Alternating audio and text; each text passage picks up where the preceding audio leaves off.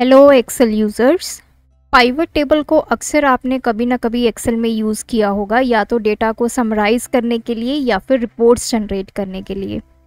अगर मैं आपको बोलूँ कि आपके पास ये डेटा है, और इस डेटा से आपने कुछ इस तरह की रिपोर्ट जनरेट करवानी है, जहाँ पे हमें पर्टिकुलर पब्लिशर के लिए जो उनकी बुक्स हैं, जिन सब्जेक्ट्स की, वो कॉमा फॉर्म में इस तरह आनी चाहिए। तो यहाँ पे आपका जो पाइवेट टेबल है, वो फेल हो जाता है। पाइवेट टेबल यहाँ पे काम नहीं करता। अगर आप इस डेटा का पाइवेट टेबल क्रिएट करेंगे तो वो आपको कुछ इस तरह की जो रिपोर्ट है, वो जनरेट करके देगा।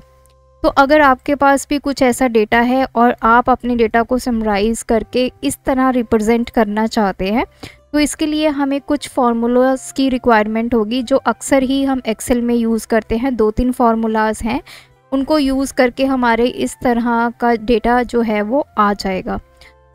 क्या वो फार्मूलाज हैं? कैसे हम इसको बनाएँगे? पूरे डिटेल में मैं इस वीडियो में आपके साथ शेयर करूँगी। तो वीडियो के एंड तक आप मेरे साथ बने रहें। मैं शालिनी, स्वागत करती हूँ आपका इस चैनल पे। चलिए वीडियो को शुरू करते हैं।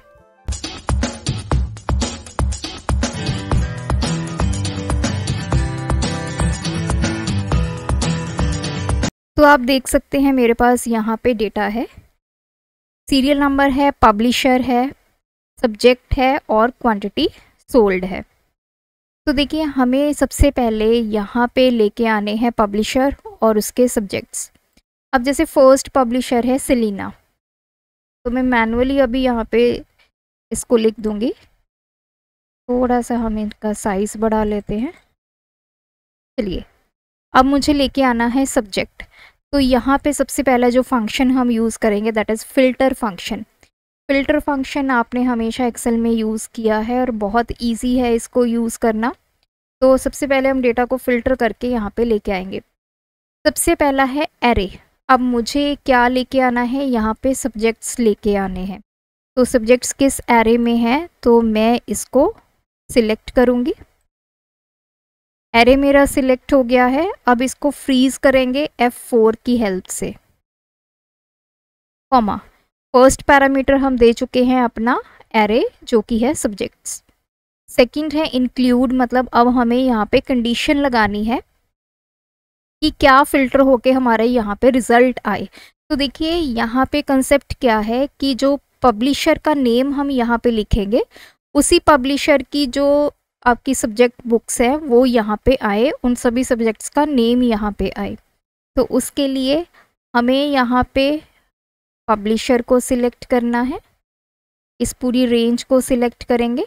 रेंज सिलेक्शन के बाद इसको भी F4 की हेल्प से हम फ्रीज़ कर देंगे। अब ये वैल्यू किसके इक्वल होनी चाहिए? इस पब्लिशर के इक्वल होनी चाहिए।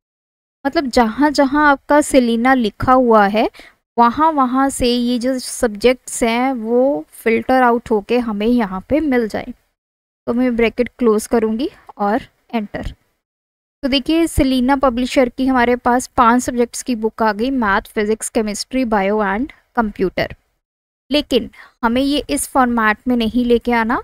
हमें ये क्या, कैसे लेके आना है कि ये सिंगल एक ही में वैल्यू आ जाए और साथ में कॉमा से ये सेपरेट हो। तो उसके लिए अब मैं यहाँ पे यूज़ करूँगी एक और formula that is text join text join का काम क्या है? आपके टेक्स्ट को ज्वाइन करना। तो टेक्स्ट ज्वाइन में हमारा सबसे पहला जो यहाँ पे पैरामीटर आता है वो है डी लिमिटर डी लिमिटर होता है कि जब आपका टेक्स्ट आपस में ज्वाइन होगा तो उसमें हम किस चीज़ से उसको सेपरेट करेंगे? स्पेस से कॉमा से डॉट से किस चीज़ से उसको सेपरेट करेंगे? हमें सेपरेट करना है कॉमा मैथ के बाद कॉमा आ जाए, फिर दूसरा सब्जेक्ट आए, फिर उसके बाद कॉमा, फिर थर्ड सब्जेक्ट आए तो इस तरह हमें इस रो में डेटा को लेके आना है। तो मैं डबल कोट्स के अंदर लिखूँगी कॉमा। डबल कोट्स हम यहाँ पे करेंगे बंद। ये हमने फ़र्स्ट पैरामीटर अपना दे दिया। उसके बाद हम लगाएँगे कॉमा ताकि हम सेकंड पैरामीटर पे जा सके। सेकंड पैरामीटर पे होता है कि अगर आपके सेल एम हैं, उसको इग्नोर करना है या नहीं करना तो इसकी हमें यहाँ पे कोई अभी रिक्वायरमेंट नहीं है तो हम कॉमा लगाकर थर्ड पैरामीटर पे चलेंगे। थर्ड पैरामीटर में हमें देना होता है अपना टेक्स्ट जिसको हमें ज्वाइन करना है with the help of delimiter तो टेक्स्ट मेरा क्या है? टेक्स्ट तो ऑलरेडी हम फ़िल्टर फ़ंक्शन से ले आए हैं जो हमारे सब्जेक्ट्स हैं मैथ केमिस्ट्री बायोलॉजी कंप्यूटर तो यही हमारा टेक्स्ट है तो यहाँ पे हम फ़िल्टर फार्मूला ही रखेंगे। अब हम चलते हैं बिल्कुल लास्ट में, यहाँ पे हम अपने टेक्स्ट ज्वाइन को करेंगे क्लोज और एंटर तो आप देख सकते हैं, ये सारा डेटा हमें इस फॉर्मेट में मिल गया है। आप चाहो तो इसको इस तरह से अपने सेल का साइज़ बढ़ा सकते हैं। अब मैं यहाँ पे चेंज कर देती हूँ। जैसे ये मिडल सीरीज़ है। हमने कॉपी किया। यहाँ पे पेस्ट किया। तो जैसे मैंने पेस्ट किया, देखिए इसके सब्जेक्ट्स जो हैं वो चेंज हो गए हैं। सिमिलरली फाउंडेशन सीरीज़ है। इस पब्लिशर को यहाँ पे एंटर करेंगे तो सब्जेक्ट्स जो हैं वो चेंज हो गए, हिंदी, उर्दू इंग्लिश एंड पंजाबी। तो यहाँ तक तो हमारा ठीक है। हमारे पास पब्लिशर है सब्जेक्ट्स आ गए। अब आती है उसकी क्वांटिटी सोल्ड कितनी क्वांटिटी उसने सोल्ड की है। क्वांटिटी सोल्ड तो बहुत सिंपल है, निकालना, हम यहाँ पे समिफ का फॉर्मूला यूज़ करेंगे। उससे पहले अब हमने क्या करना है, देखिए, अगर मैं इस फॉर्मूला को नीचे ड्रैग करती हूँ तो अभी कैल्सी एरर आ रहा है। कैल्सी एरर क्यों आ रहा है? क्योंकि मुझे यहाँ पे वैल्यू चाहिए। तो पब्लिशर की वैल्यू चाहिए। अभी तो देखिए, मेरा डेटा बहुत ही ज़्यादा स्मॉल है तो आपका बल्क में डेटा हो सकता है। तो आप मैनुअली तो पब्लिशर्स को यहाँ पे वन बाय वन एंट्री नहीं करेंगे। तो हमें क्या करना होगा? हम इसको वापस कर देते हैं। यहाँ पे मैं मैनुअली लिखने की जगह पे हम यूज़ करेंगे फॉर्मूला का। फॉर्मूला क्या होगा? हमारा यूनिक यूनिक क्या करता है? आप जो एरे प्रोवाइड करोगे, उसमें से यूनिक वैल्यूज़ को आपको रिप्रेजेंट करेगा।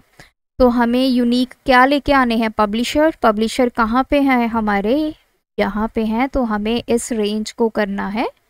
सिलेक्ट रेंज आपकी सिलेक्ट हो गई है ब्रैकेट क्लोज करेंगे एंड एंटर तो अब देखिए, मेरे पास सारे पब्लिशर्स आ चुके। और अगर अब मैं अपना फॉर्मूला इस तरह से ड्रैग करूँगी।